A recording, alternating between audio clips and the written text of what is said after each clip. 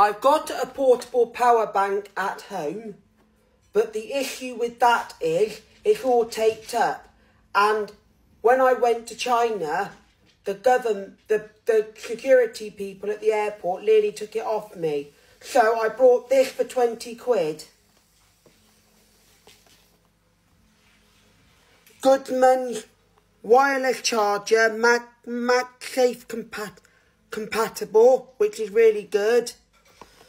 It works for iPhone and iPad, iPhone and Android phone, um, built-in light and USB-C cable.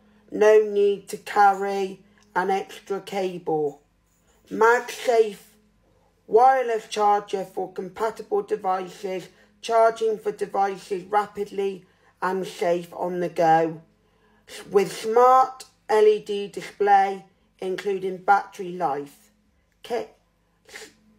Suitable for most electronic devices that you see or lightning um, cable for charging.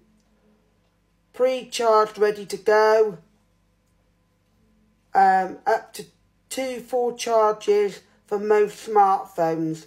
So let's unbox it and let's see what it's all about, guys, shall we? Sorry if my lights are flickering, they're in the ceiling lights, so I do apologise, but opening it now, the box, and that's what it looks like on the inside so far. You get your manuals as you normally would.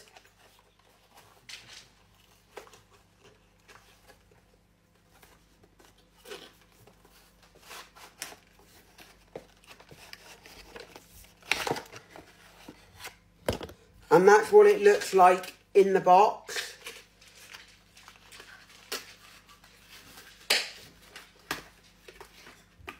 That's just me dropping the um, charging cable that comes with it. It's got your on and off switch, which I will use it for a couple of days, then come back and give you a review on it. I've seen some like this before and they look really good. So I like it. And you could hang it on something if you wanted to, which I'm not going to, because I did that with one and it got really dirty. It's saying it's got 96% charge. So I'll try it with my phone and let you know how I get on. It's Goodmans and it's from B&M and it's 20 quid. You can't go wrong with something for 20 quid, can you? So I'll see how I go and then I'll do another review of how it goes. Thank you for now.